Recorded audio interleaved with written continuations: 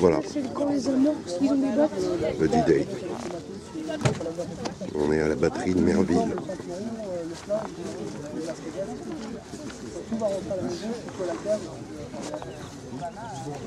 Je crois que c'est un aspirateur.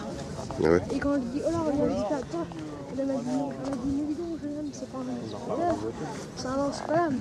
Je vous rends photo devant Ah ouais, elle On a les, le socle du jardin.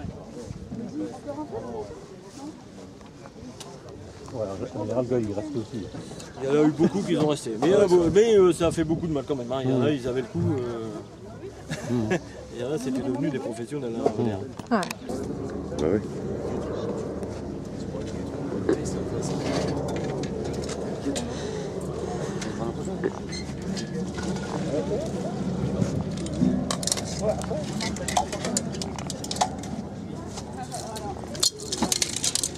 Bonjour. Vous avez un peu d'historique sur euh, ce genre de pièces d'armes euh Ça c'est la MG42, donc euh, Ah ouais, d'accord. 1200 coups minutes. Donc euh, comment? Vas-y, vas-y. Ouais, ouais. Mets-toi à côté d'eux. Cartouche de 792. Donc les mêmes que le Moser, que pratiquement toutes les, toutes les armes allemandes. Ils avaient décidé de mettre les, armes sur, sur le même calibre, comme ça ça évitait les soucis d'approvisionnement de munitions. Ils mettaient la même chose et tout le monde était content. D'accord. Ça en fait, c'est l'arme qu'on voit euh, lors du débarquement, qui est face euh, aux, aux alliés. en aux tout cas. Alliés en train de débarquer. En ouais. partie, il y avait celle-là, il y avait aussi euh, sa grande sœur, la MG34, Ouais.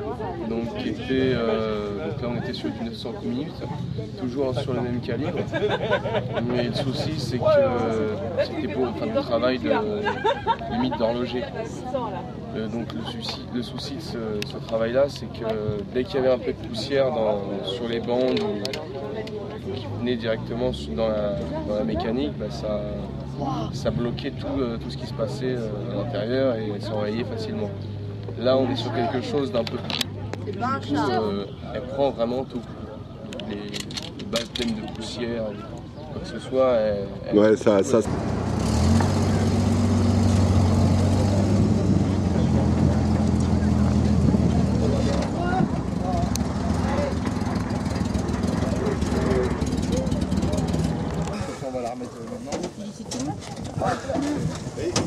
Allez.